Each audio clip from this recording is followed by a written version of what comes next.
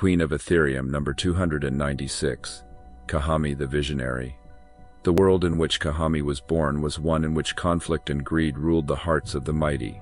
She was committed to build a better society where people's needs and opinions were acknowledged since she was a small child.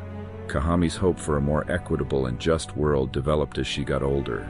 She brought people together and created a movement that would challenge the status quo using her sharp mind and persistent efforts. By spreading her message widely and being motivated by her ideas and enthusiasm, her supporters helped to create a new civilization. Kahami never lost sight of her objective in the face of several challenges and disappointments. She persisted in moving forward and staying focused, always looking for new methods to effect change.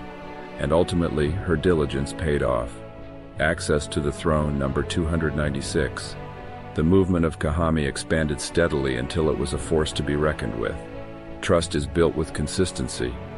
The previous rulers recognized the danger she posed and made violent attempts to put an end to her movement, but Kahami persisted.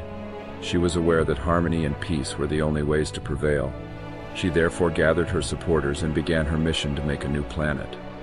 A society where justice was done and people were free. She succeeded in overturning the previous order and installing the new one with her unyielding will and the help of her supporters. Kahami became the first queen of the new planet, which was more equitable and just than any previous one.